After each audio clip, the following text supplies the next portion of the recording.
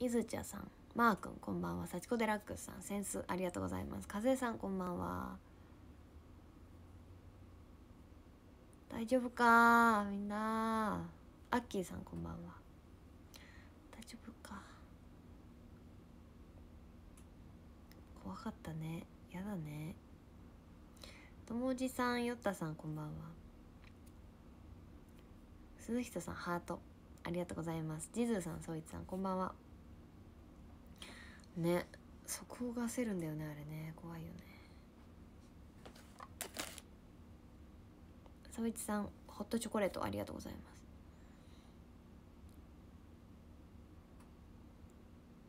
さまよい人さんこんばんは。アミューさんこんばんは。さき村上さんこんばんは。うなんさんこんばんは。そうまだ油断できないよね。まあ能登で誘発されたんでしょうけどね。プレートがいろいろあれしてて。まあ怖いよね。雪国の年金ライダーさんこんばんは。ねそうだよね。中越とか震度 5, 5弱とかって言って昼配信の後一人ラーメン行ってきて幸せ気分で歌ったねしてたらうわ最悪だ。何もなかったでも。まあ見てるってことは無事ってことだと思うけどさ。ねえ。ラーメンいいな。ワイマツさんカオさんスエンさん。リコちゃんこんばんは。今日も可愛いありがとう。ありがとう。そう今日最終審査だった。さっきね最終審査手応えどうだった？ってコメントしてくれてましたけど。そう。うん。半々ぐらいかなって感じ。手応え。うん。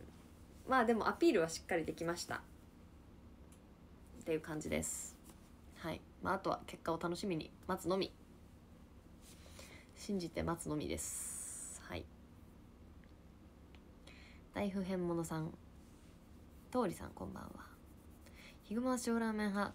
ね塩ラーメンも美味しいっていうね。マウのママも塩ラーメンが好きです。ヒグマは。私は醤油が好きだけど。でも全部美味しいよね。ありがとうお疲れ様あありがとう。そう。まあ祈っててください。えー、ご飯をね炊いてるんですけど炊けないですね。としのりさん海斗さんこんばんは。あ私陽花は塩派。鶏塩白湯がめちゃくちゃうまい。濃厚でちょっと中太麺なんだけどそれがすっごい美味しい。ヒグマはね絶対オジアが一番美味しいです。のでオジアで食べてほしい。カンさんこんばんは。そうオジアが一番美味しいからヒグマ。長岡とかにもあるけどオジアが絶対美味しいから。まだ？まだ炊けない？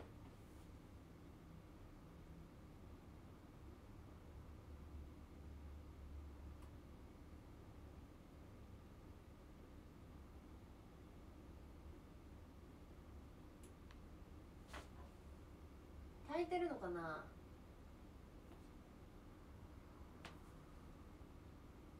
グツグツ言ってんな。早く炊けないかな。早炊きにしたのに。遅いな。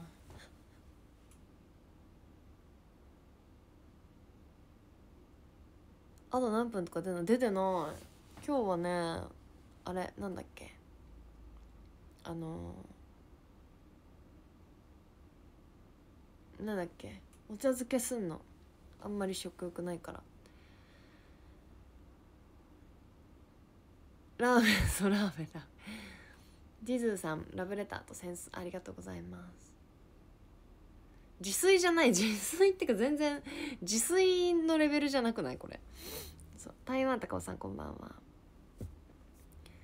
長岡だいぶやれたけどいつもねあ本当よかったよかった。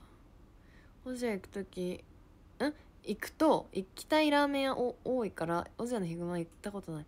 えぜひ行ってみてほしい。KSK さんこんばんは。としのりさん流れ星ありがとうございます。そうオジアはね結構ラーメンいっぱいありますけど冷凍ご飯ないの？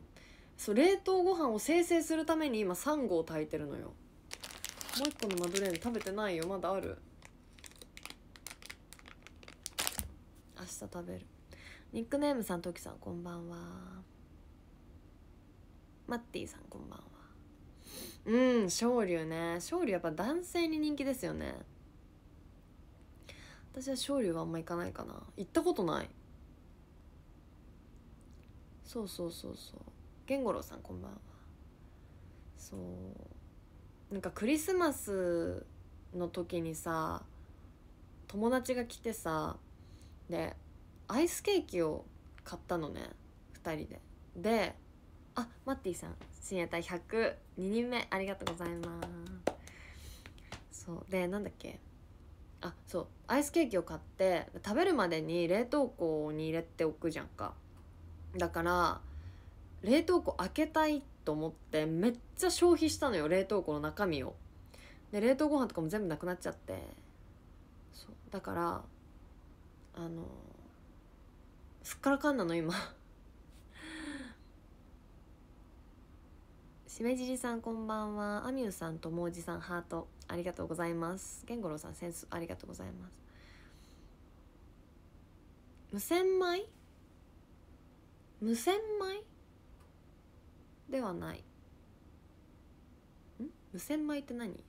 洗わなくていいやつ。あ釣り吉派。うんうんうん。なるほどね。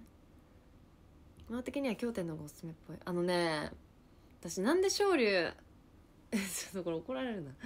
ねちょっとね食べようという気持ちになれないんだよね昇竜ちょっと見た目がもうちょっとなんか綺麗に持ってあったら行きたいかも。アミュさん深夜帯103人目ありがとうございます。美味しいんだろうけどね。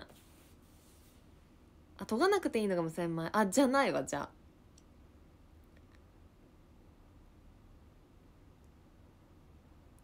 おしやし美味しいラーメン屋さんがたくさんある。あつるりマジ美味しい私つけ麺絶対つるり行く。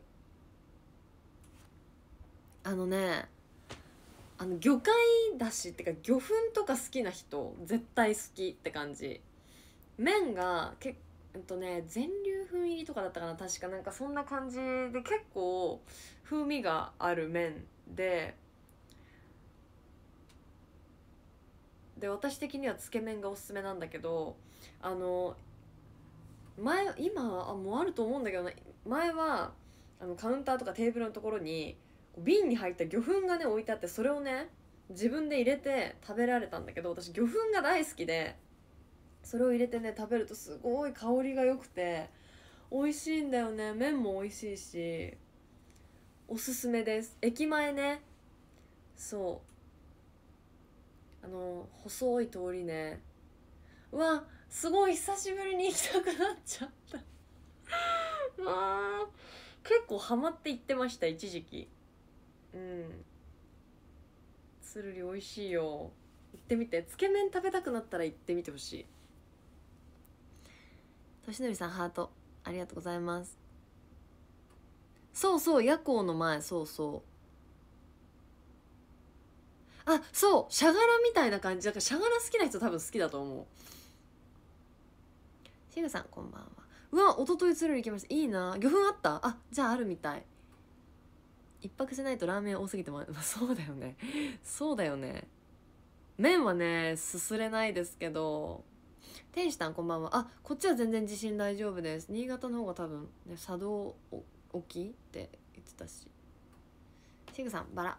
ありがとうございます。そうヒグマはねそうそう。醤油ラーメンは生姜醤油かな。うん。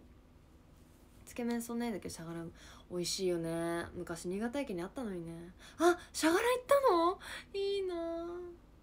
え待ってめっちゃラーメン食べた 食欲ないとか言ってね食べたら食べられるパターンだよねこれね。うわーいいな。美味しそう。お腹すいた。ね早くご飯炊けて。母親がおじや沢中とか羽鳥とか珍しい。あー確かに多いかも。いたいた。どっちもいた。しゅうけんさんこんばんは。ラーメンライスって何？どういうこと？スープにご飯ってこと？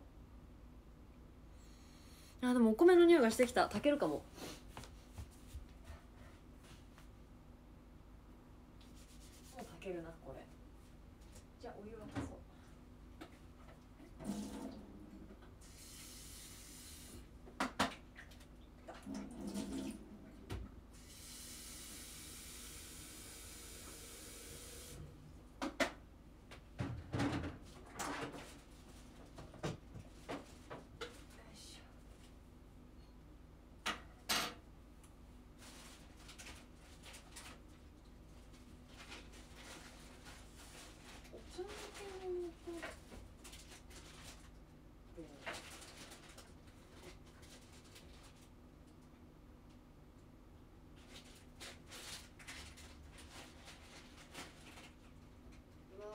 校があるぞ。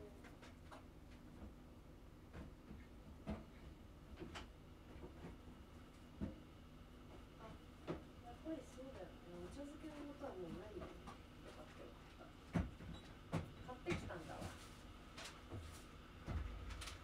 食べたい分だけかけられるっていうやつを買ってみた。これこれ。こういうの。鮭が好き。鮭茶漬けが好き。ちょっと待って。雪国の年金ライダーさん深夜第1004人目ありがとうございます。前髪がおかしなことになってる。ラーメン食べながら白いご飯食べる。あーちょっといらないかも。餃子とライスとかはいいけどね。ドリーマーさんこんばんは。またジェイさんこんばんは。センスありがとうございます。ニックネームさんハートありがとうございます。コミュニストさんこんばんは。ああ青木屋ね。有名ですよね。シンクレアさんこんばんは。おシンクレアさん深夜隊105人目。ありがとうございます。素晴らしい。夕飯は鮭？あいいな。焼き鮭美味しいよね。あそうチャーハンとかだったらいけるかも。鹿島屋さんの鮭でお茶漬け食べたことある。えないと思う。ないと思う。お腹すいたな。おいまだかピーって言いなさいよ早く。なんで何分とか出ないんだろうこれ。出てくれますか？でもお米の匂いがするもん。絶対に炊けるんだもん。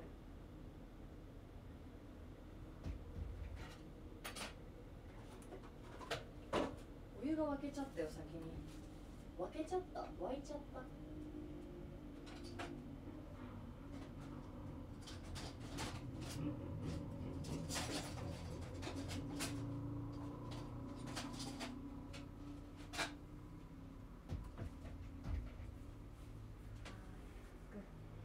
あこれ絶対お湯沸かすの早かったなえー、ちょっとちょっとあゆいが出てる頑張れまあ3号だもんね3号だもんね。鹿島屋さんマジでめっちゃうまい高い。あそうなんだ。モイドさんこんばんは。餃子と聞いて今日粘土でめちゃめちゃリアルな餃子作ってる子いてうますぎて爆笑した。すごいね。子供ってすごいな。俺ひろさんこんばんは。長岡のラーメンはあるよ全然。でもそんなにいっぱいはないかも。あのあれ好き。ヒューマとか好きですよ。ヒューマとかあと、まあ、長岡のっていうわけじゃないけど チャーシューや武蔵とかもよく行く。長岡じゃないけどね。長岡のチャーシューや武蔵によく行く。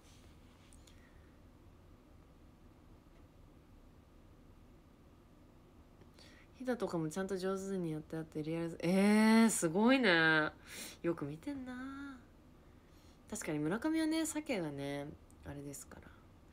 瓶に入ってるフレーク状なんだけど最高にうまい。へえ今度食べてみたいな。お昼が遅めだったから夜はサラダかココミニとカップスープにした。たまには実用みいやいいいいいい。全然いいのよそれで。どんてんさんこんばんは。あー1位知ってる。1回だけ食べたことある。美味しかった記憶がある。すごいちっちゃい時ちっちゃい時ってかなんか小学生ぐらいの時に食べたんだよね。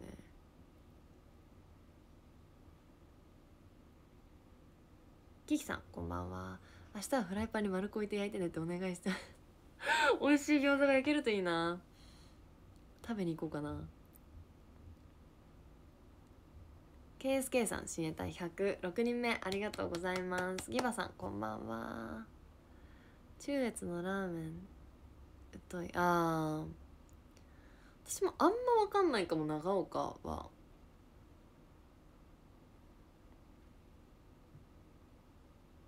それこそなんだっけこの間聞いたやつ。あー忘れちゃった。あのアピナの近くあれなんだっけ。太一。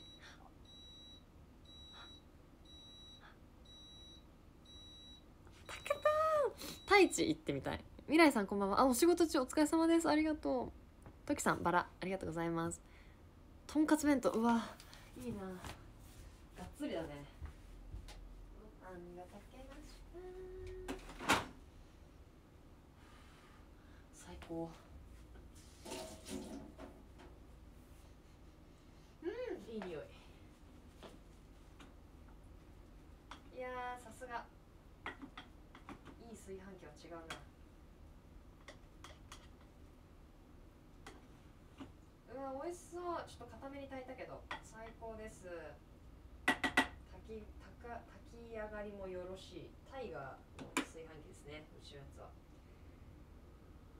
えー、どうしようかな。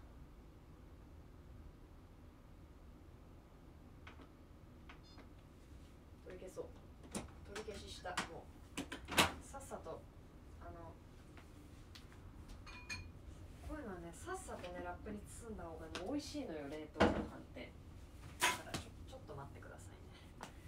あのさ最近最近の炊飯器っていうかわかんないんだけどさあの炊飯器のあの炊飯釜お米とかさ入れる釜あるじゃないですか。あれにさ持ち手ついてないのなんでなの？熱いよね。ついてないの多くない？最近。最近っていうかあれついてないの普通なの？実家のさ炊飯器がさ初代のやつはついててもともとねついててでそれが普通だと思ってたの。ついてるのが。2箇所ね。で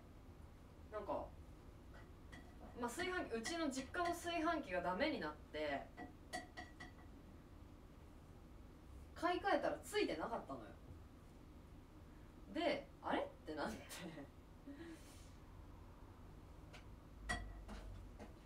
で私もね、まあ、一人暮らし始めてさ、まあ、炊飯器で最初に買ったんだけどついてなくて。今のもついてないのよ。ついてないのが一般的なのね。えなんなんでって思うんだけど。熱くない？出す時どうすんの？みんな冷ましてから出すってこと？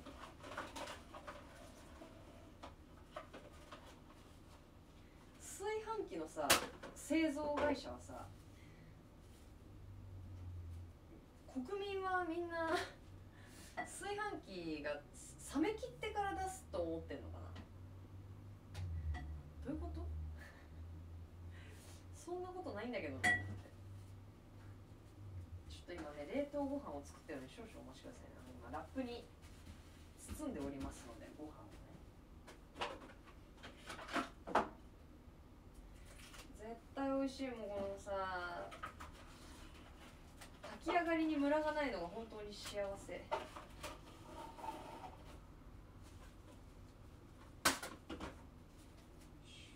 変なラップは早くなくなってほしいしよいしょ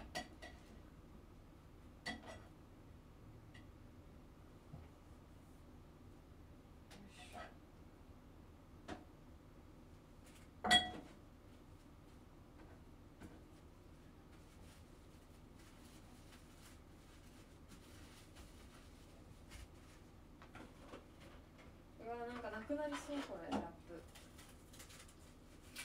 あなくなった。ダメだすごい変なタイミングでなくなっちゃった。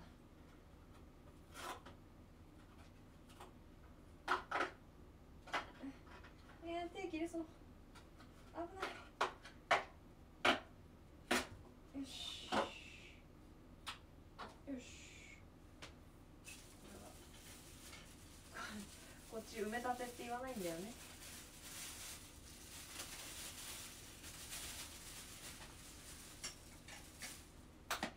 埋め立てゴミって言ったら何それとか言われたからオジアは埋め立てゴミって言うんです。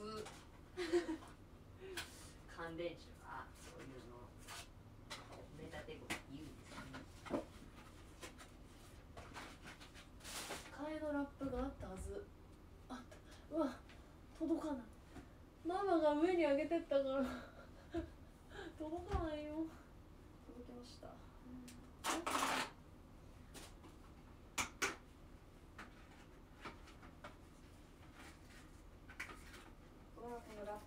プあなる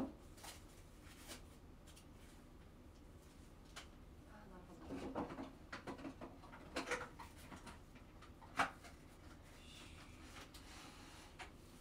ああいいね。ああ切りやすい。なんて切りやすいんでしょう100均のラップ使ってたらさ全然なんかうわ変な量だけ余った。最悪。食べちゃう。しオッケーオッケー。オッケー食べちゃう食べちゃう。そうそうなんでなんだろうね。急に急に話戻すやつそうなぜだろうって。すごく思って。あの持ち手がない問題ね炊飯器や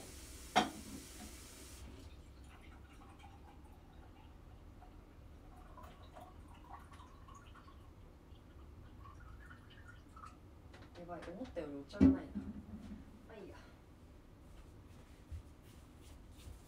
なんでなんだろうね。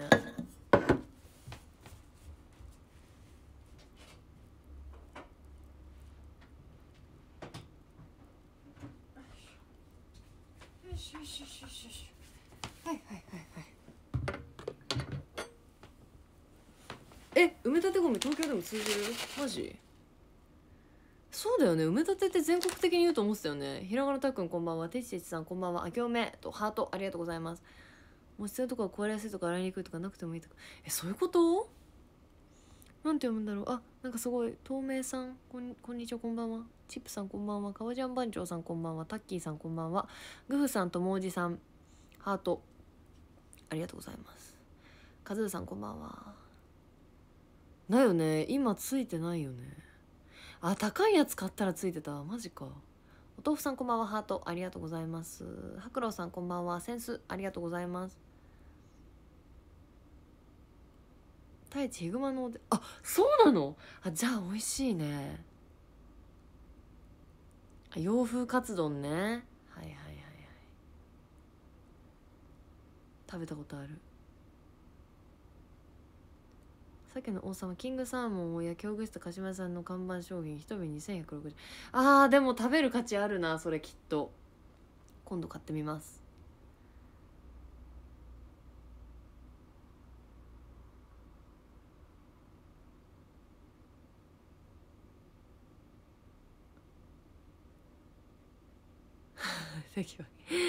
通じるかどうかじゃなくてごめんなさいけどかあなるほどね。のりこさんこんばんは。どんてんさんセンスありがとうございます。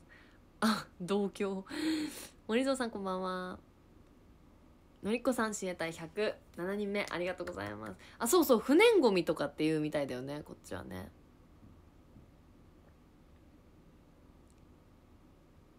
燃えないゴミ。あなるほどね。直道さんこんばんは。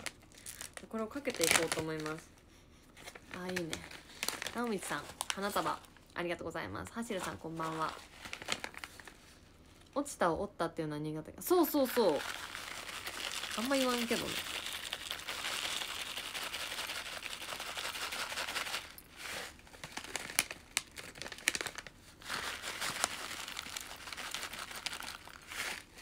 一旦このぐらいかな。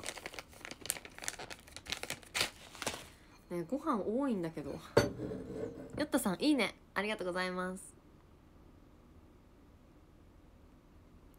白いアルパカさんこんばんは。はしるさん流れ星ありがとうございます。武藤さんこんばんは。ね地震ね平気でしたか？なんか大丈夫だよっていう方もさっきちらほら。いらっしゃいました。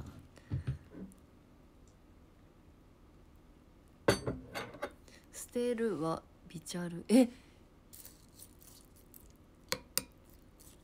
どこそれ？方言。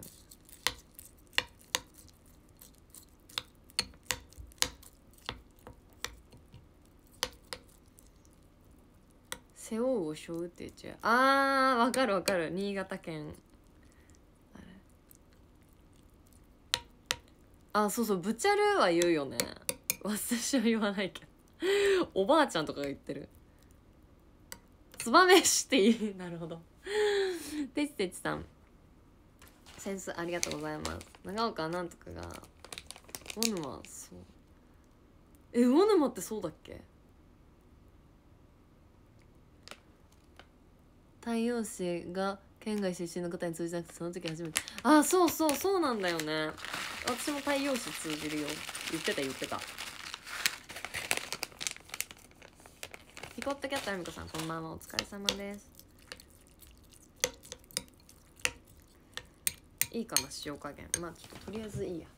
一旦でお湯ああお湯をもう一回沸かそう。お茶がないわ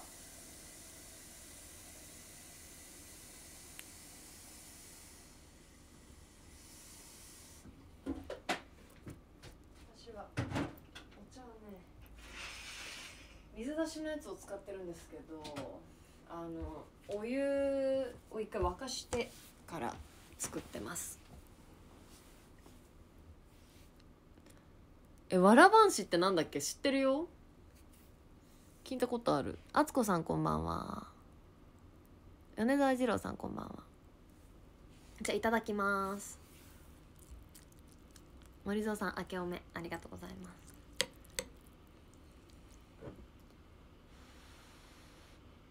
教務室も方言。職員室ってこと？あの普通普通？標準語？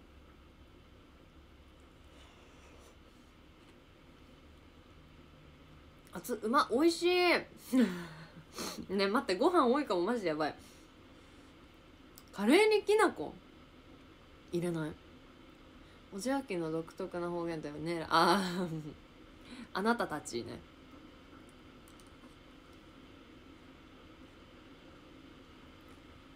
ガリ版？何？うん社学言うね。私もそれ通じないのびっくりしたよ。ああ手を挙げて先生にかけられる。はいは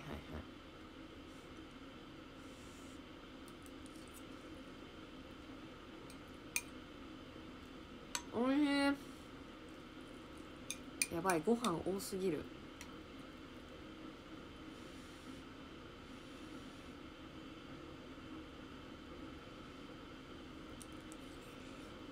うん。そうだね。なんか方言っていうかって感じだよね。なんかちょっと違う言い回しとか結構多いよね。こうきちさんこんばんは。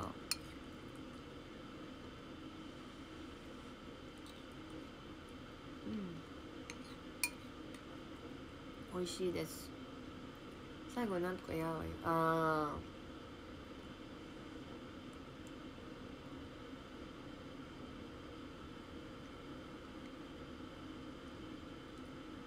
え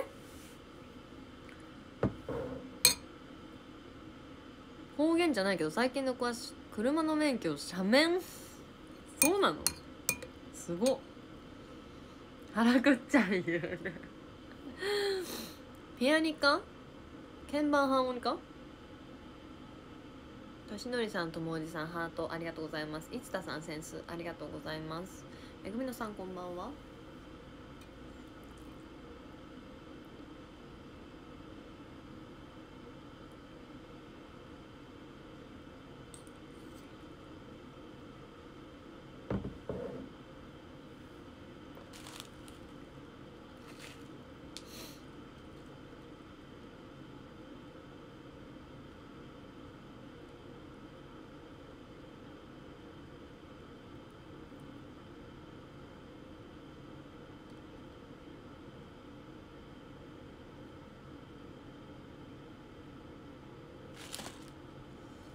ギバさん。違った。ごめんなさい。佐藤美奈子さん新鋭隊100。8人目。ありがとうございます。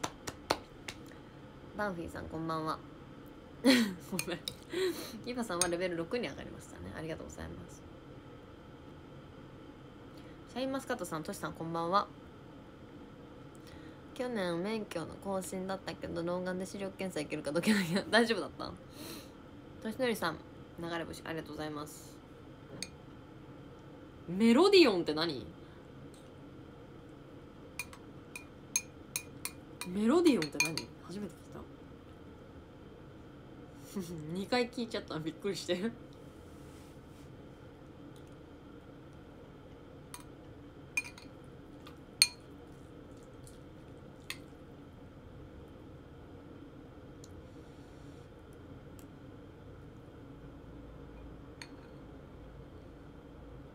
えバンフィーさんうまありがとうございます。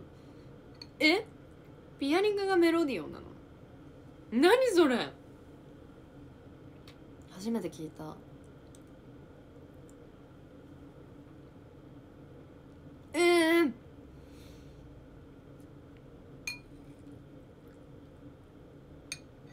バンフィーさんセンスありがとうございます。なんか鍵盤ハーモニカとピアニカだったかな。うん。おじや祭りの窓綺麗だよね。年々小さくなってってるけどね。しょうがないよね。うん。剣木がメロディオン。へえ初めて聞きました。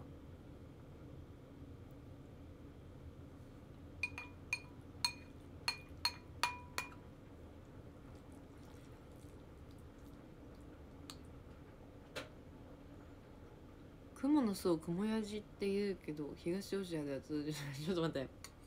私も初めて聞いたよそれ。うん。お金がないのよ。人もいないしね。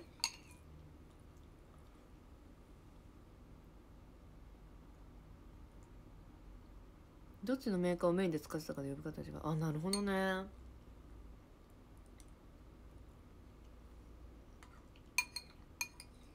やばいお腹いっぱいしかもさお湯少なすぎてさ入れたお湯ご飯が全部吸っちゃった。美味しいです。うん。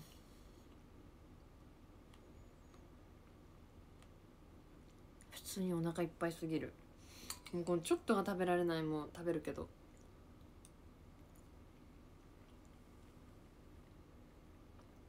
保育園はピアニカって呼んでたから小学校入ってメロディオン呼びになって混乱したの今までなるほどね。あそうなんだ。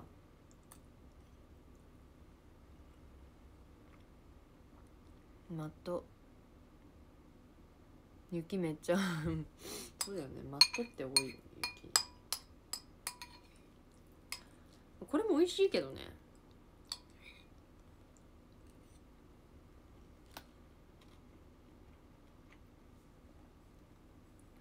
おかゆがダメおかゆじゃないおかゆがダメ？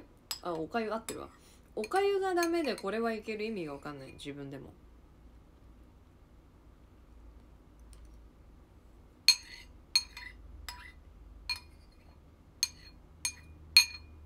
おかゆはね味がなさすぎるから好きじゃない。確かにマットって読めないかも。最初初見じゃあー海苔がはい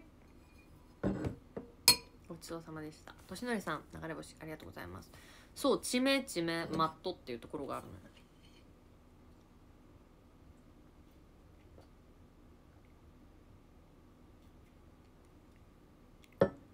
そうお茶漬けとか雑炊とかは好き。カニ雑炊とか。卵雑炊とか大好き。ヨタさんこんばんは。ちょっと置いてきますねこれ。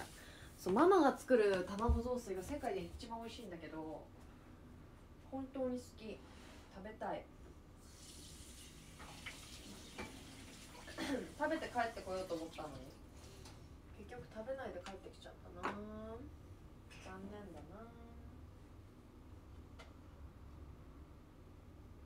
洗い物しちゃいたい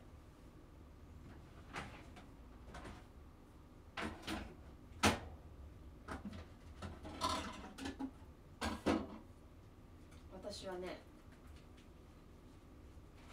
洗い物用の手袋を手に入れたんですよ。手が荒れるから。洗い物する時にさ手袋するの好きじゃなかったんだけどどうなってるかわかんないから洗い上がりが。だけどさあまりにもあまりにもということで一度導入してみることにした。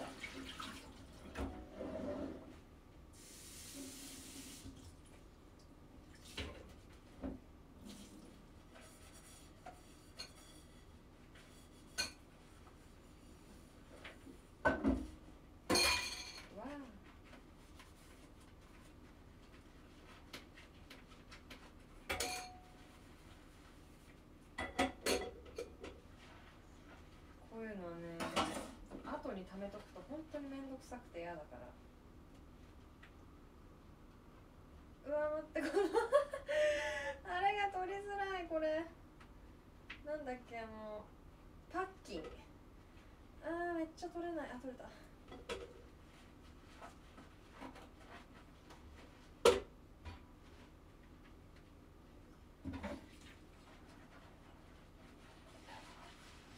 あ今日はねそんなになんか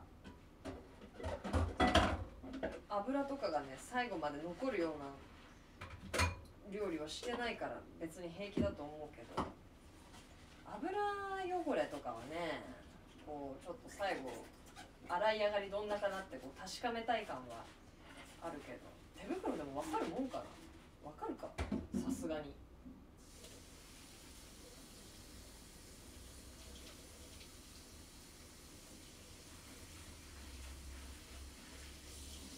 なんかあれだね。ちょっとついでに冷たさも半減されていい感じ。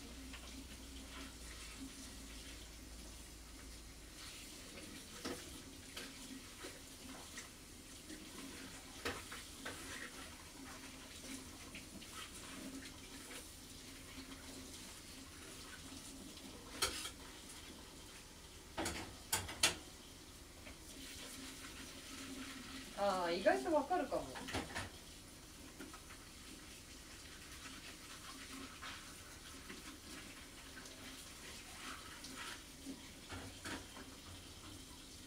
いいねいいね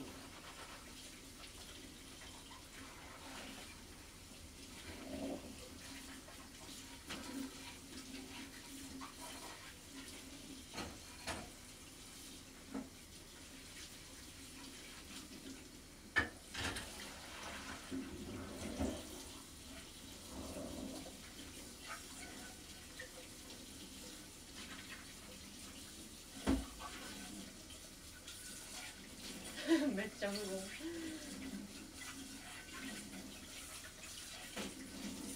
これで今日ねご飯炊いたのでこれでしばらくご飯には困らないかな。4食分できました。3合炊いて今食べて食べたやつの他に4食分って感じかな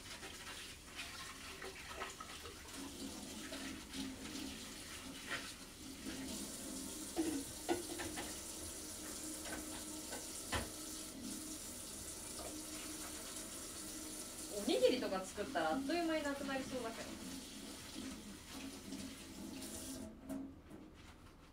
どよしいいんじゃないいいんじゃない終わりましたライブはいはいはいはいうんあいいね快適だ当たり前だけど手がビチョビチョしてないのがいいです。よし。終わった終わったとポコさんお刺身さんこんばんは。ケンさんこんばんは。流れ星ありがとうございます。羽鳥さんこんばんは。確かに手荒れがね改善してたら意味あるってことだからね。ケンさんセンスもありがとうございます。鈴木一郎さんこんばんは。あそうそう内豚そうそう。俺の得意料理はソーセージ丼。うわ美味しそう。ご飯の上に焼いたソーセージと目玉焼きとキャベツ。美味しそう。チップさん明けおめありがとうございます。ケンさん明けおめもありがとうございます。卵がゆうわー美味しそうだな。中華がゆとかもダメ。うんあんまり食べたことないっていうのが正直なところなんだけど。でも多少味がついてたらいけるかも。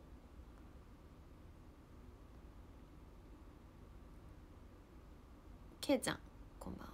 最近マールームに出没おめでとう。え全然？なんで？ありがとうむしろ。チップさんかわいい。ありがとうございます。来てくださいよたくさん。おいしい。無事に。本日の食事も終了した。テロップを編集しよう。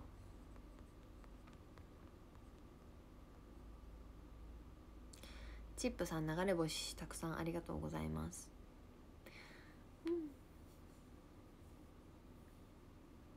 今日は掃除機もかけました。そういえば。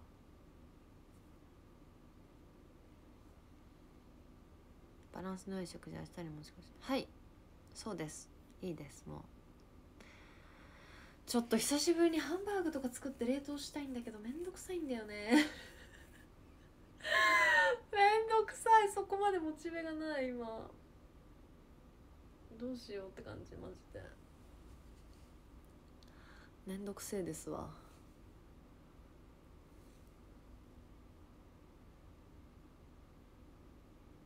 これさ作る相手がいたら変わるのかな？えどう思う？どう思う？どどんなもんなの？そんなそんなん知らないよね？モチベーションなんてそんな本人の問題だもんね。どうなんだろうね。そうなんかさあうんうん今から作るつもりではないよさすがに。冷凍庫にハンバーグ？持ってきてくれんの？なんかさハンバーグいいよねたまにはね。かゆう手。めっちゃかゆい。なんかさどうなのっていう。変わる？欲しい調理器具があればプレゼントする。えガチ？ないです。意外と意外と揃ってる。まあ確かにモチベは上がるよね。なんか別にさそれが異性でも同性でもさ相手は誰であってもやっぱりその自分だけが食べるってわけじゃなくて食べてくれる人がいるってなったらそりゃモチベーション上がるか。普通に一人より。なんか結局さなんかその何が面倒くさいってただ自分一人が食べるだけなのに手間暇かけんのが面倒くさいのよ。多分。ひらがなたっくん親衛隊109人目ありがとうございます。そうしかもさそうやってさ食べてくれる相手がさ美味しいって言ってくれたらそれは嬉しいわけじゃんか。天使さん流れ星ありがとうございます。元カノの味噌汁の味は忘れられない。えー、そうなんだ。確かに同棲中の方がモチベーションああなるほどね。やっぱそうだよね。そうそうそう一人分ってめんどくさい。ねほんとそう。それな。なんかさえそう。しかもそう作り置きできるってなったらいいんだけどうちみたいに冷蔵庫自体がちっちゃくてさらに冷凍庫ちっちゃいとかってってなってさもう作り置きもできません。みたいな感じになっちゃったらさもうさ面倒くさい以外の何者でもないよねみたいな。そう。確かに最近の冷凍チャーハンとかレベル高いねだから冷凍食品レベル高いよね。トラくんこんばんは。ご実家でパパママに料理振る舞ったことある？ハンバーグを作ったことは一回ある気がするけどでもなんか全部はやったことないかも。作れるけどめんどくさい。実家帰ってまで実炊ってか料理とかしたくないから。うん。一人分だと完成した料理が材料が余る。えそうそう。本当にそう。まさしくって感じ。だからさねえっていう。冷凍庫を埋めることをモチベに作るわけわー素敵。いいな。その埋まった冷凍庫から私は食事をいただきたいくらいだけどね。高坊主さんこんばんは。カレーは大量に作るからうまいと思うんです。一人暮らしだとモチベ上がああでもそうかも。私もでも4人前とか作っちゃうな。あのルーさ半分あるじゃん。半分ってかあの2パック入ってて1個使っちゃう。で何日間もかけて食べる。一人の時はコンビニとかファストフードにしちゃだよね。わかる。なんかさ途中までは作るぞっていう気持ちなの。なんだけどさ、まあ、普通に駅前とか行ったらさマックとかあるじゃん。3日これで？ってなるんだよねコンビニとか。最近昼食は職場で自炊。なんだが同僚の分も作ってるからこそって感じで一人の時使う。えなになに？職場で自炊ってなんかすごくない？そんなことができるの？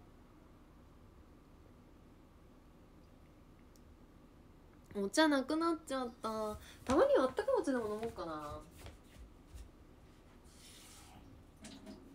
こんなのに入れたら熱くて熱くて飲めないかな。まあいっか今洗ったやつにお湯を沸い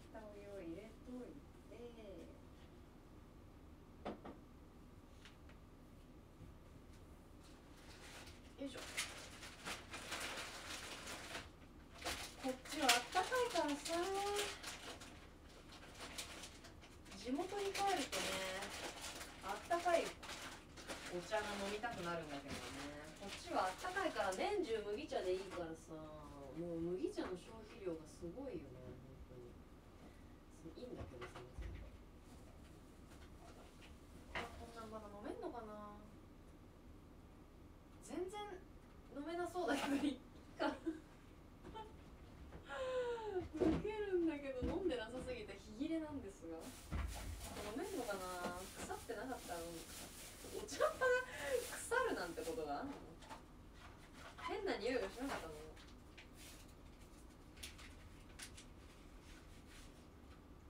ああ全然いい香り。大丈夫です。飲みます。いや本当にやばい。こんな女だってバレちゃう。世にバレてしまう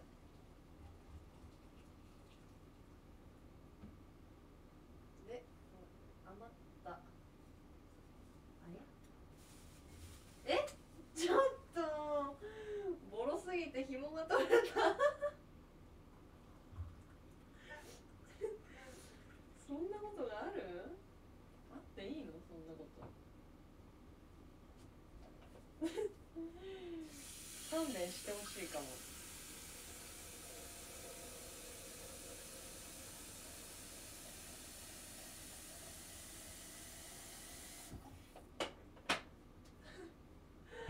あのティーパックのさ紐が取れました。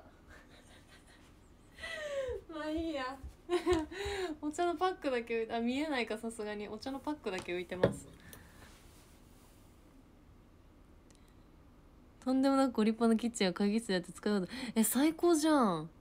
もやし安くて便利だけどすぐダメになる。え間違いない。ともおじさんハートありがとうございます。たまに食べ忘れた子たちが出てきてごめんねってなる。そうなるよね。そう。賞味期限も短いし。やだ。あ重すぎてじゃない。ボロすぎて。ボロくなっちゃったのか。ウケる。あったかいお茶にしました緑茶。こんな暑いのに。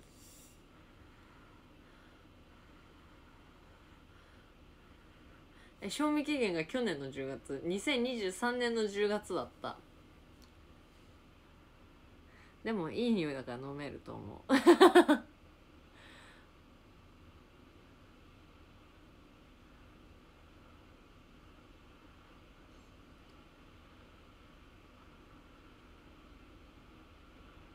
これさ暑いかな？ちょっとお茶おみお水入れてみる？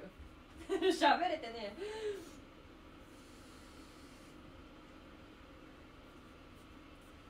ちょっとお水入れてみた。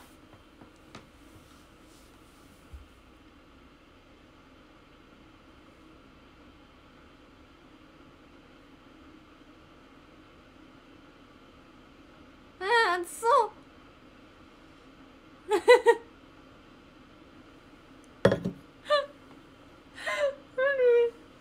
こないださ友達とご飯食べに行ったらさ餃子食べたって言ったじゃん。餃子なんて焼きたてめっちゃ熱いじゃん絶対。だからさ普通にさめっちゃ先食べてみてって言って熱い？って聞いて私大体人とご飯食べる時熱い？ってさ 聞くの美味しい？とか熱い？とか聞くんだけどいや大丈夫だよって言うんだけどさぬっちさんこんばんはでなんかでも食べてみたら熱かったのすごく。めっちゃ熱かったの「いや熱いやん」って言って「いやそういえばそうだ猫舌だったね」って言われて「ヒデさんこんばんは。ハートありがとうございます」そしたらさ友達なんて言ったと思う？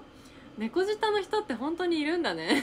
え えー、出会ったことない？もしかしてと。いるだろそりゃとか思いながら。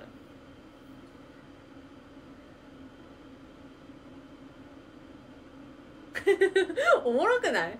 しかも別に初めて一緒にご飯食べたとかじゃないのにさ。今更そういうこと言うと思う。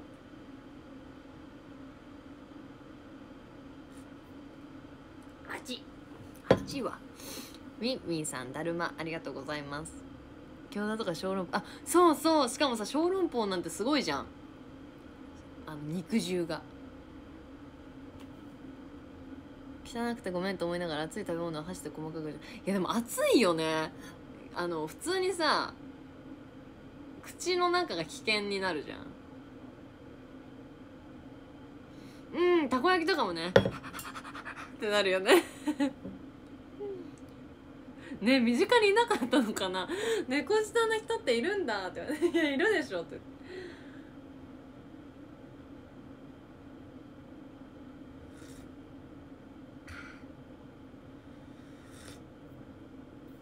美味しいねこれ。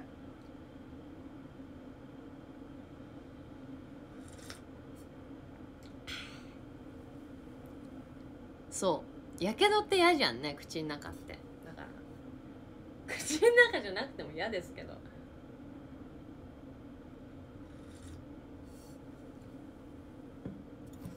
なんなら姉とお世話してくれる友達は私がやる前にやってくれる。あもうそれくらいの方がいいよね。うわーチーズ。熱い。マセロさんこんばんは。チーズは熱いわ。熱々のチーズは熱いよね。当たり前のこと言ってるもしかして私なんか。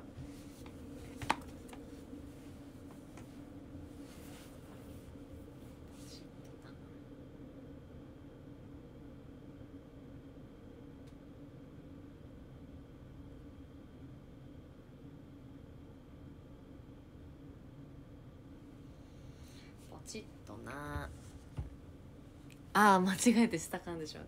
それな。痛いよね。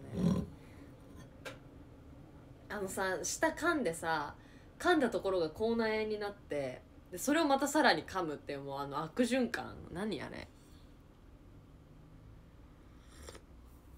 いや猫舌の割合なんて調べてない。鶏の唐揚げ。あー確かに、まあ、揚げ物系はね基本熱いよね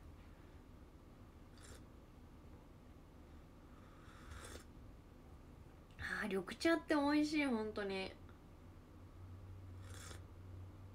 あ美味しいね。美味しいね。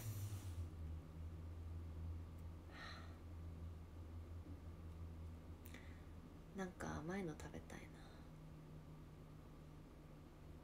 買ってこなかったんだよね。和久さんこんばんは。食べちゃうの分かってるから買ってこなかったんだ。なんかないかな。えー、奇跡的になんか入っててほしい。冷凍庫あたりに。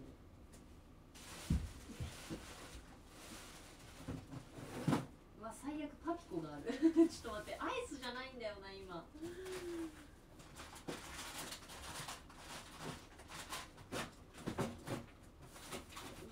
ないわえ冷蔵庫はあーないわマジかチーンって感じ残念。諦めよう。食べるなってことですね。よし。我慢我慢。ポケットの奥深くにルマン。入ってないよ。捨てたよ。マサパンダくんこんばんは。待って今日ラーメン率高っ。食べたくなってきちゃったじゃん。いいな。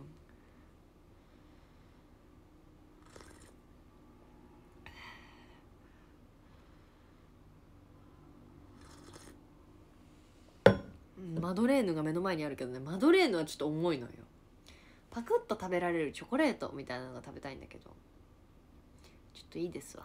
やめとく。やめとくってかないから。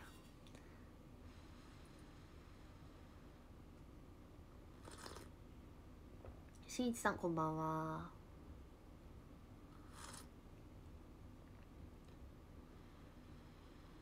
えわかる。これで飲んでんの間違いだよね猫舌が。ステンレスマグ。そういう時都会はちょっとコンビニでできるからいいよな。ねでもさ私家の目の前にコンビニがあるとかじゃないからちょっと面倒くさいんだよね。全然近いけどね。地元っていうかさ実家からコンビニとかに比べたら近いけどでも面倒くさいの。こういう時面倒くさがり屋でよかったなと思う。だって行動力ある人だったら行っちゃうじゃん絶対。私食べちゃうもん。こんな時間から。だから大丈夫。機能性が与えるって間違いない。私が悪いこれは普通に。札幌一番味噌ラーメンってそんなに美味しい？えわかんない。食べたことない。美味しいのまるちゃん塩ラーメン東京に売ってない。そうなの？なんかその煮るラーメンシリーズ。おじはとちょっとコンビニイコール車。間違いないね。遠いです。えー、そう私猫舌なの。えそんな珍しいの？猫舌って。うちの周りはコンビニならいいじゃん。最高じゃん。夜中にちょっとそこまでができるじゃん。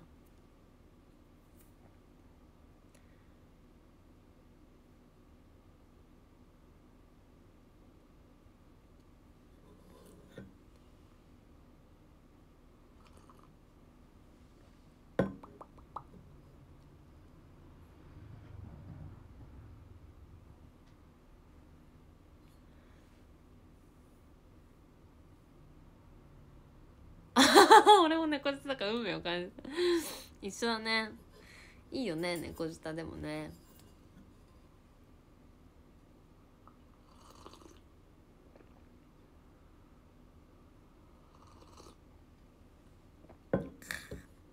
あっちねそういえばさそういえばあの私あのユンスっていうねあの化粧品なんて言えばいいの？スキンケア用品をさ使ってるんですよ。で一番最初美容液を導入してみて私のスキンケアの中に導入してみてめっちゃ良くてで化粧水とか乳液がなくなるタイミングだったから化粧水とクリームを買ったの。なんかそこは乳液出してなくて化粧水の次にクリームを塗ってくださいっていうやつだからあの美容液からクリームまではそのユンスっていうので揃えてるんです今。それをさ昨日初めて使ってみたの化粧水とクリームを。夜。すごい良い。めっちゃいい。なんかしっとりだし。すごいすごいです。なんか肌質がいい感じ。毛穴がなくなれと思ってますね。やっぱマーマーって優しいよね。勝手にホームだと思って。優しいか？優しくないよ。みんなが優しいからじゃない？それは。いつでも来てください。そうユンスめっちゃいい。そうえちょっと待って見て。見てほしい。見せたい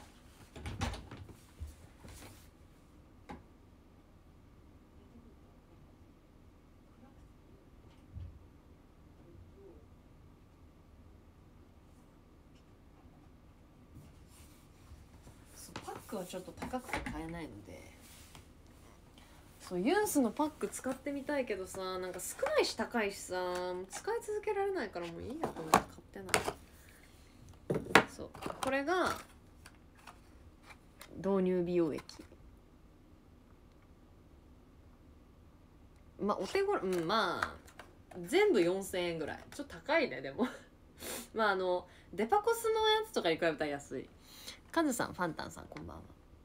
そう。これがホワイトニングエッセンスっていうやつでなんか美白美容液みたいな。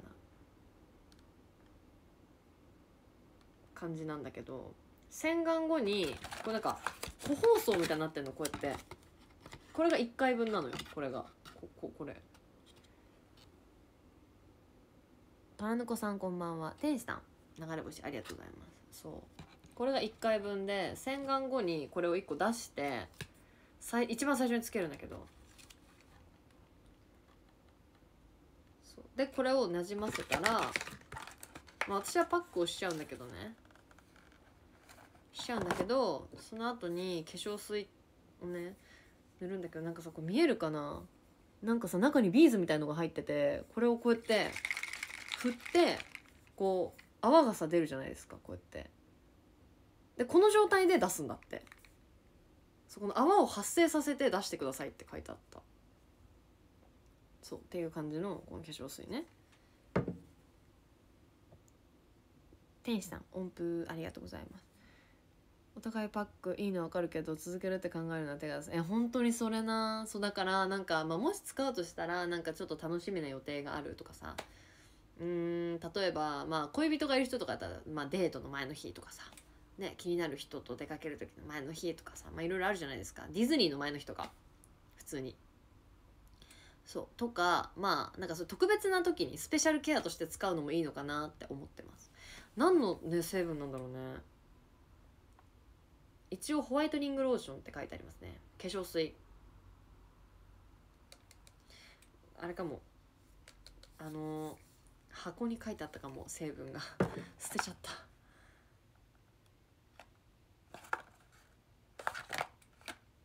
はいでこれクリームですね。これがすごいのよ。モイストクリーム。すごい。もう使い始めあー見えない。あー見えない。違う島かあー見えた。使い始めなんでちょっと偏ってるしもう全然まだ使ってないんですけど。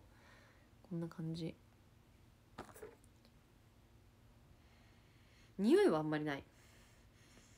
うん。すごいのよこれが。本当にねモイストクリームっていう名の通りもうすごいしっとり。そうこれちょっと。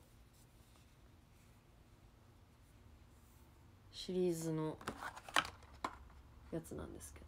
あともじさん親衛隊110人目。ありがとうございます。そう1回でもね割とねわかる。だからユンスは意外と即効性がある気がするな。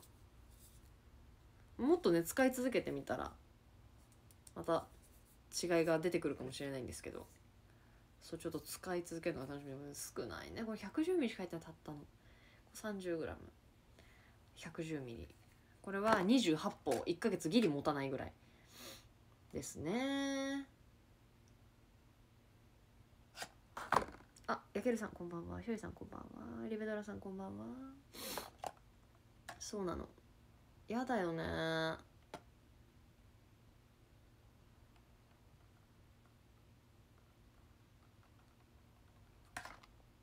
デート前日のワクワク感忘れいや忘れるよね。もう忘れた私はね。もういつのことやらって話ですよ。はい。こんな感じ。デザイン意外と地味よね。確かに。ドラッグストアで売ってる。売ってるところは売ってると思う。結構取り扱ってるところ増えてる気がする。でもロフトとかの方が確実にあるかも。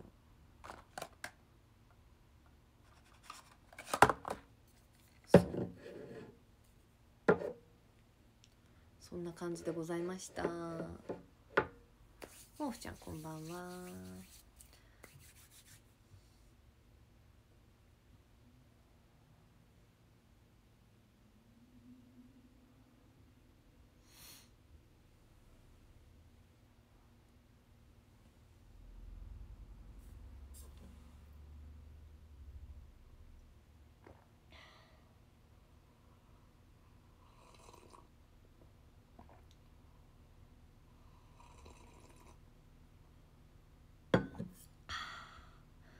美味しい。最高ですね。お茶を飲みながら。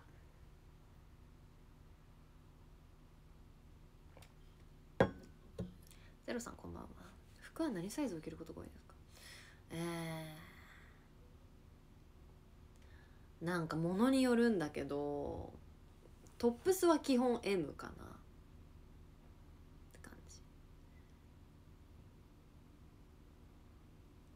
健五郎さん親衛隊111人目ありがとうございます。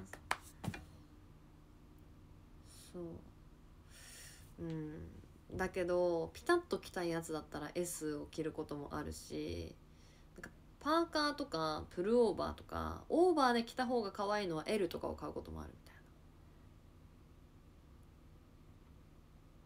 混雑を避けて平日にディズニー行ったのに秋休みで混んでた。あーたまにあるよねそういうのね。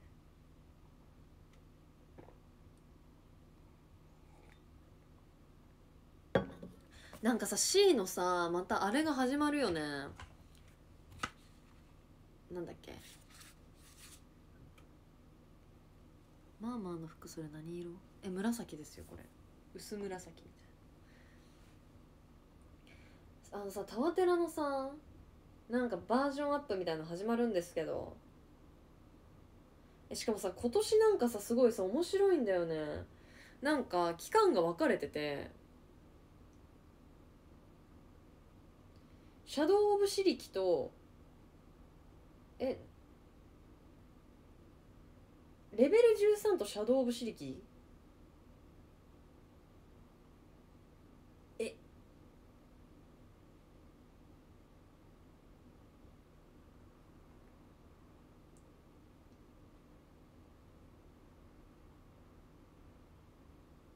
そう春キャンの時期に合わせてさ。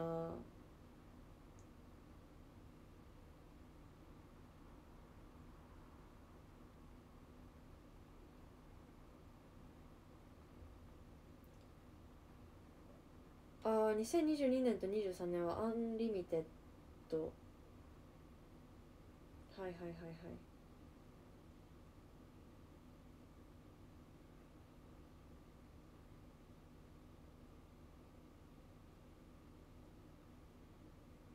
そう7回落ちるんですよね。落下回数が4回から7回に増えて。そうわあもう最高。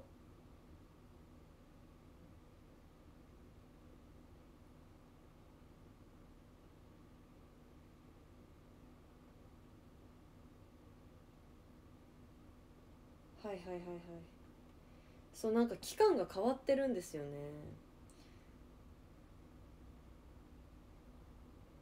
2月ん？1月9日から何これ？なんか分かりにくいな。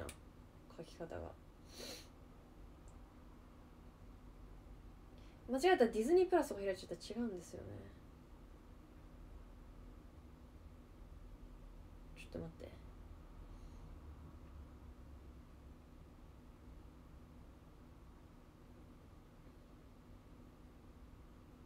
1月9日から4月7日まで期間限定で落下回数や演出効果が追加されるスペシャルバージョンで運行されていてで2月のいつかあそうで実施期間が分かれていて3月7日からは投票によって実施されるバージョンが決まるの。すごくない？博士太郎さんこんばんは。天使さんだるま。ありがとうございます。タナさんこんばんは。お疲れ。ありがとうございます。コロナが遠のいてオリエンタルランドも勝負。ねえこれ絶対さえ何回行けばいいのっていう本当に。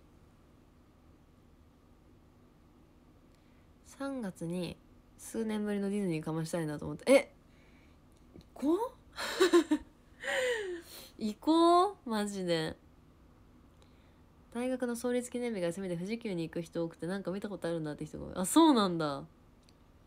女の子のお洋服ってよく分かってないけど何号とかじゃなくて M とか S って表現。うん SML とかが多いかも。何号はあんまないかな。すごくない？そう。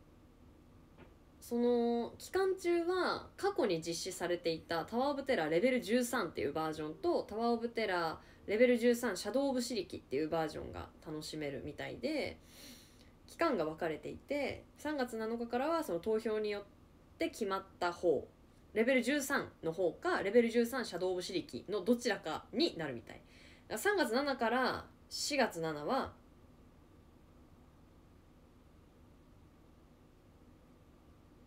ああなるほどね。1月9から2月4日がレベル132月5から3月6がシャドウ・オブ・シリキの方。で3月7から4月7がどっちかその投票で決まった方。上じゃあこの期間中に222としたら6回この期間で6回行かなきゃいけないってこと？すごくない？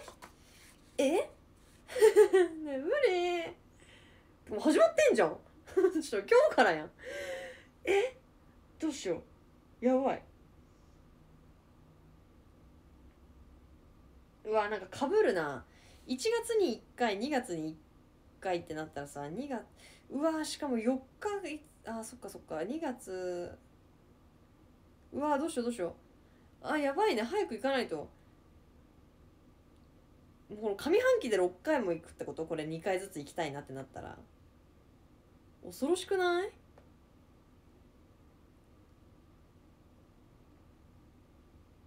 だってさどっちも行かないと投票できないじゃん。これ。どうすんのね。え？ガチで言ってる？え一回は行こうかな。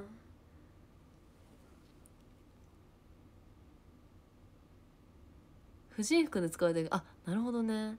数年前にいたのは C だったから次はランド。あそうなのか。むっちゃんこんばんは。ランド今あれやってるよね。パルパルーザだっけ？ミニーちゃんのショーやってるよね。それいつまでやってるのか分かんないけど。でも春キャンの時期なのかなあれも。初めてタワテラ乗ったのがバージョンアップされた時だからその後乗ったらあーそれはそうかも。これさすごいんだよね。中毒性が。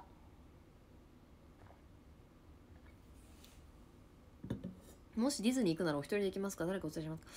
うーん基本は人と行きたいけどなんかもうこういうのがあってこういうタワテラとかがあってもう私はもうそれをメインで乗りたいみたいな感じだから同じ価値観の人がいれば全然いいんだけどじゃなければ全然一人で行きますねもう。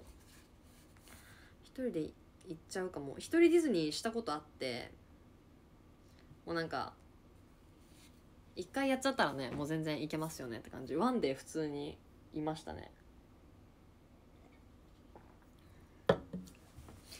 やっと美味しく飲めるような温度になったぞ。で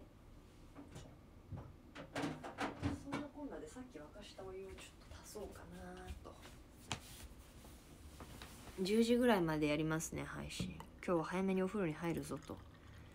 意気込んでおります。よし。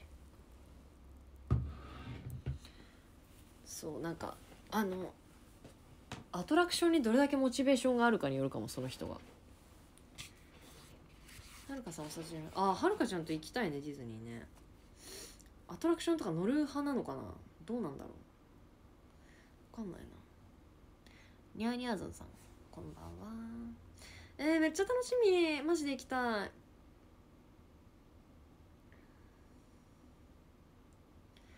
レベル13ってどんなんだったっけ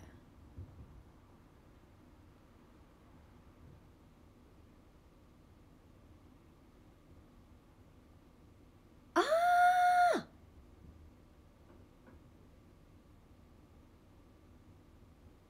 あーね。そうだ。不意打ちの急降下。通常バージョンと比べて全体の落下回数が4回に増え落下のタイミングも不規則。うわーじゃあシャドウ・オブ・シリキかな。これ7回に増えてるっていうのがね。うわ多分ね去年はねアンリミテッドとかだったから多分シャドウ・オブ・シリキの方だったんだよね。7回とか。あーレベル13ってちょっと前にやってたやつかな多分。うわー。だって4回と7回だったらさ7回がよくない？やっぱでもちょっと一回行ってみてだな。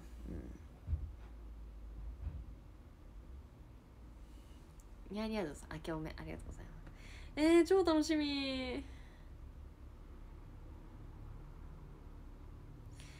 えー、どうしよう。だってこれさもうプレミアプレミアアクセスをさ駆使するしかないのよ。朝一行って並んで1回乗ってショーのタイうわでもさそしたらさビリーブが見れないっていうことになる？どうしたらいいんだろう？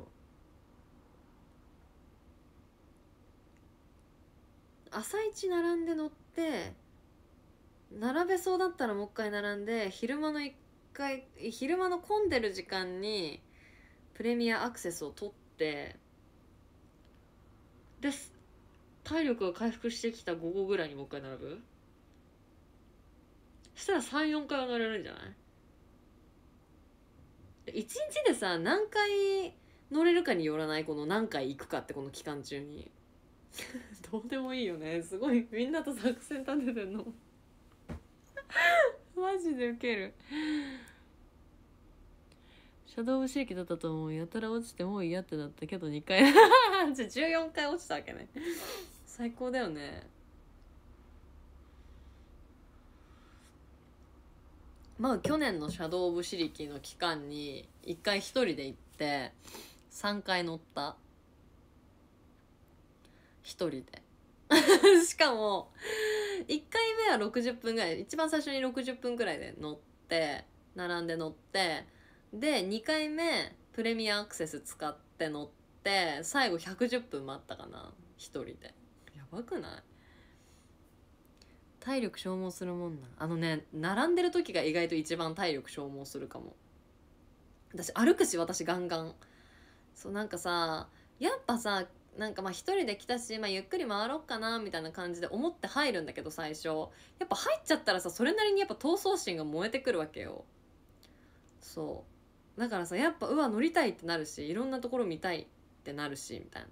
でも食べ物も食べたいしみたいな感じで結局人と行く時と同じぐらい歩いた気がする。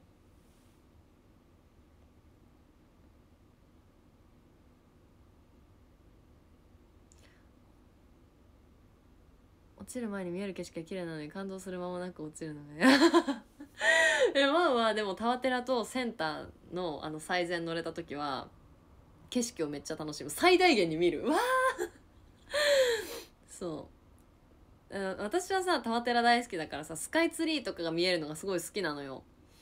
だから夜が綺麗なの。昼間も晴れてて空気が澄んでる時だったら見えるんだけどあの、まあ、夜の方がねやっぱ光がついててさ見えやすいから見て見てとか言うんだけどあのママはねたわったら嫌いなのよ。苦手なの。だけど一瞬でいいから目開けて絶対綺麗だからって言ってあのどっち側にあのスカイツリーが見えるからとか言って言って「ほらほらあれあれあれ」とか言ってね。そう。お刺身さん。センスありがとうございます。年パスはワンデーパスあのね年パスがあるなら全然買いますけど今売ってないのよ。そうコロナ禍になって販売やめてそっから販売してないんですよね。昔はね片方だったら5万ぐらいだったけど5万？5、うん、片方5万で両方いけて10万しないぐらいだったっけな？10万前後ぐらいだったんだけど多分今普通に年パス売るってなったら片方10ぐらいいくんじゃない？って思ってる。でも10だったら全然いけるから年10だったらね。今だってもうさ普通にそのワンデーパス自体の値段が上がってるから、まあ、1万円として10回行けばでしょ？10ってでもきついけどね。きついけどでもそれで年パスもし変えたらさ夜ご飯だけ食べに行くとかショーだけ見に行くとかもできるわけじゃん。それって普段はさワンデーパスなんてもったいなくてさ使えないからさそれじゃ。まあワンデーじゃないのもあるけどね。なんだっけな。なんだっけ。なんかあの3時ぐらいから入れるやつ。3時か6時かみたいな。アフロクみたいな。アフロクとか今ないのかな？なんかあるよねでも。遅い遅くにさ入るやつみたいな。それにしてもって感じじゃない？なんかもったいでもそれでも半額以上取られるからさもったいないんだよ。数時間しか入れないのに。部長さんこんばんは。そうだから、まあ、年パスが出て年パス買ったらあのなんか例えばグッズだけ買いに行くとかさもうできるじゃん。だから今日はお土産とかなんかそのお菓子とかを買いに行く日みたいな感じでもう全然遊ぶ気なしで行って、まあ、空いてたら何か乗って帰ればいいかなくらいにして買い物だけしてとりあえず帰ってくるであの違う日に普通に朝から行ってそのグッズを身につけて行ってでその日はお菓子買わなくていいから身軽みたいなさ。そういうことがさできるようになるじゃん。あそうそうアーリーイブニング。それそれ。高えのよ8700昔のワンデーより高いからねこんなの。もったいない。高弘さんあ深夜第112人目ありがとうございます。こんばんは。ステンマルクさんこんばんは。近くないと平日より確かにそう。私はそんなに離れてないからね。電車でパッと行けちゃうくらいの距離だからさ。そうそうそうそう。関東に住んでて時間に余裕があるのは年パス高くてもちょっとそう本当にそう。他人には貸しうんできないできない。さすがに多分それはできない。ウィークナイトパスってのがあるんだ。5時から？今9時までしか空いてないのに？4時間6200円か。昔それぐらいだったねワンデーがね。大人？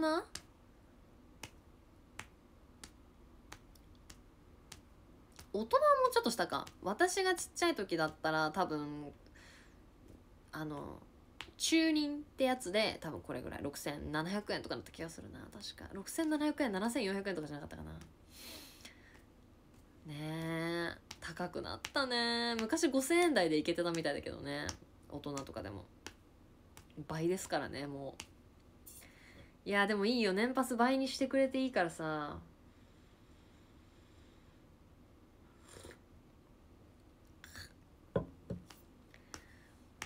いや本当に売ってほしい。美女と野獣のエリアってある。ある！ランド。そうランドにあるよ。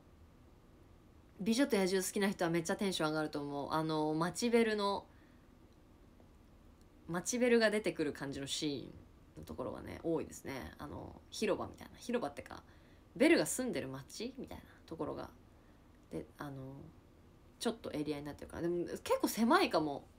そんなに広くはないけどね。あのハロウィンの時期になるとマチベルがいっぱいいる。あの水色のさドレスみたいなやつにあの白いエプロンしたベルがいっぱいいますね。綺麗な人が。これはまあまあとディズニー行きたいな。もう楽しめないぐらい多分ガチだけど大丈夫。そうラプンツェルは C にできますね。今年かな？ラプンツェルとピーターパンとアナ雪。もう本当にうわーって感じ。どうしようって感じだけどね。こっちも楽しくなさそうに見えるくらい どういうこと？そう11日ね。そうそう。ドリフあるんですよ。楽しみ。録画します。ランドは行ったことあるけど C は一回も行ったことない。え C 行ってみてほしい。C 行ってみてほしい。マジで。大人は多分 C の方が楽しいと思う。やばい。全部ダジャレみたいになってるから。分からんまま言ってるからもったいないなっていつも感じて。あなるほどね。一緒に行こうぜに楽しんでる？って聞かれる。もっとねはしゃぎな？もっと。穴焼きできたらオラフのグッズ増えるかな？そしたら来たでも出るんじゃない？さすがに。てかオラフに会えるんじゃない？会えないのかな？ラグジュアリーな客席さんこんばんは。ちなみにランド行ったのもママが生まれる前から。あそうなんだ。じゃあ今いろいろ変わってるかもね。あれなくなったよ。ゴーカートみたいなやつとあのスタージェットだっけ？なんだっけ？ジェット。あーなんだっけ？スタージェット。違うんだけど。ななんだっけ？あったよね？飛行機みたいなやつ。あなくなっちゃった。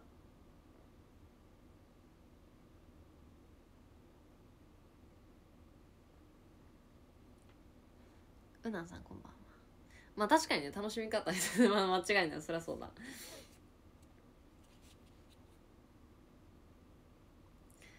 うわ本当に行きたい。ちょっと待って。これいついつだっけ？1月9日から2月4と2月5から3月6ね、まあ、1か月くらいってことか。OK OKOK 隠れミッキーは昔探してたけど今探してないな。戦場だから今。戦いなの？おけいさんこんばんは。ディズニーランドに一人で行くない。私 C 派だから C は一人で行けるけどランドは無理だな。飽きそう普通に。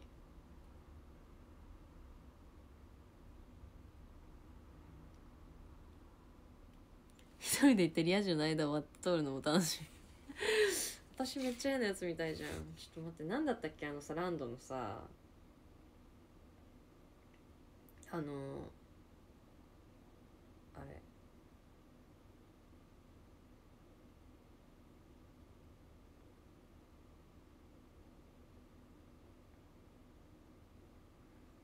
何だったっけ？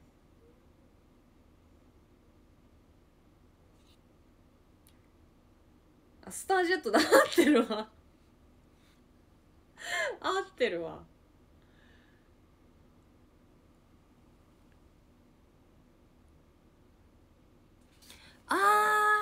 一人で行く人も結構いるらしいけど一人で行って乗り物で何時間も待ったりする人多いのそれとも一人の人はパレード目当てがあのね人によるんだよね。なんかもうキャラクターが大好きっていう人はだから例えば自分の好きなキャラクターがいるとか例えばミッキーとかねドナルドとか好きなキャラクターがいるっていう人はそういうキャラグリーティングみたいなのにガチな人もいるしもうあのそれこそ地蔵って言われてるあのパレードの前に何時間も座って待ったりとか場所取って待ったりとかする人もいるし私みたいにアトラクションガチ勢みたいな人も多分いるし結構ね人によって違うかもしれない。マウは割とまあアトラクションがメインではあるけど割と人と行く時と同じ回り方をしましたねこの前は。うん。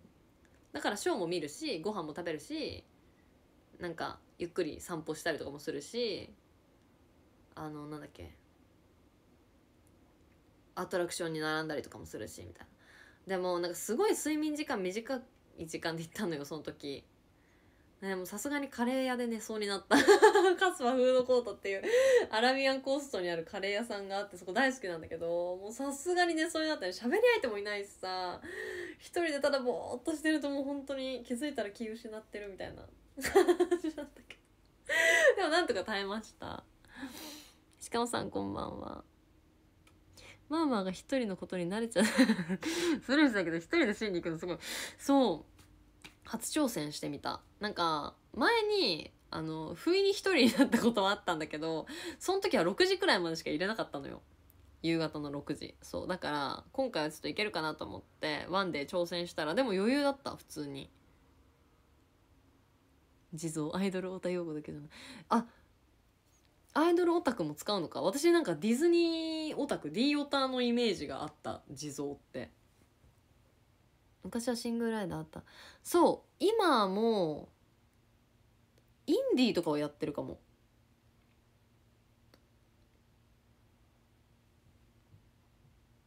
ああ仕事関係の人と行った時はあえて一人行動してデートの人。うわめっちゃいいやん。何それ。そうパレードガチ勢ほんとすごい。タレ焼きさん海ニンニーさん？こんばんは。七色のインコさんこんばんは。10時になった本当だ。そうそう。ウェイブ配信とかしてましたね。ミックス打ったりコールしない人じああーそうなんだ。やばいドラマも早く終わなきゃ。はい。ということで今日はここら辺で終わっとこうかなと思います。早くお風呂に入ります。はい。ということでまた明日お会いしましょう。皆さんありがとうございました。ゆっくり休んでください。おやすみバイバイ。えーって言ってる。バイバイ。おやすみ